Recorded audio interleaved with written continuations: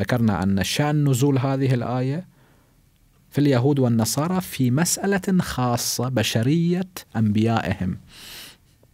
ما كانوا يتمكنون أن يجيبوا جواب خلاف الواقع. حتى الآن إذا تروح إلى الكنيسة تسأل القسيس مثلا هل يعقوب يوسف هؤلاء مثلا يحيى زكريا هؤلاء كانوا بشر أو لم يكونوا بشرا؟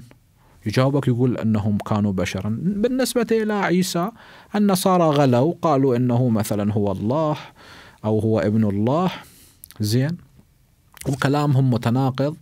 لكن غير عيسى بالنسبة إلى صار الأنبياء يقولون بشر. لكن بعض الناس في ذاك الزمان كان يعمم فاسألوا أهل الذكر يعني في كل مسائل الدين في الصلاة والصوم والحج والخمس وما إلى ذلك. وبعدين يعممه لذلك كان يجيب الأحبار يسألهم عن تاريخ الأنبياء وهاي الإسرائيليات التي دخلت في كتب بعض المسلمين. منشأه وهذا كانوا يجيبون هؤلاء الأحبار حتى يفسرون القرآن. تركوا وصية الرسول وباب مدينة العلم وجاءوا بكعب الأحبار حتى يفسر القرآن في مسجد رسول الله صلى الله عليه وآله.